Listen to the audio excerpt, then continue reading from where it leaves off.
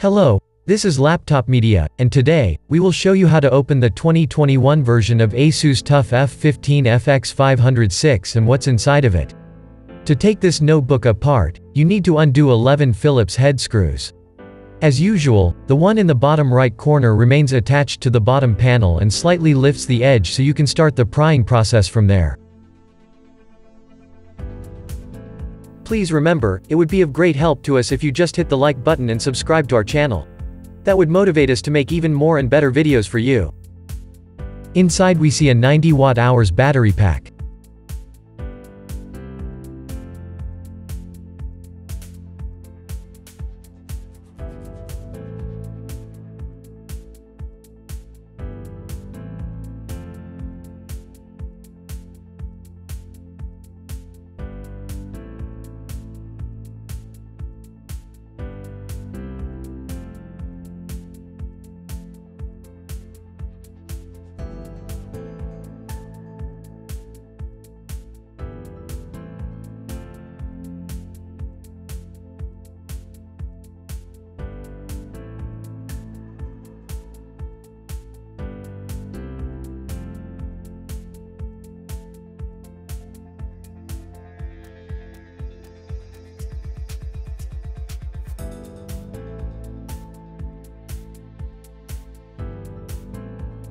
In terms of memory, there are two SODIMM slots, which should support up to 64 GB of DDR4 RAM in dual channel.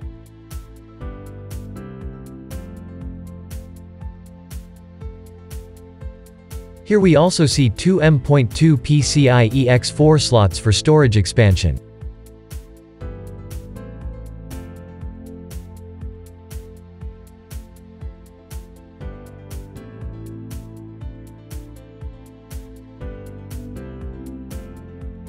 The cooling solution here includes three heat pipes shared between the CPU and the GPU, as well as a fourth one intended for graphics memory and the VRMs.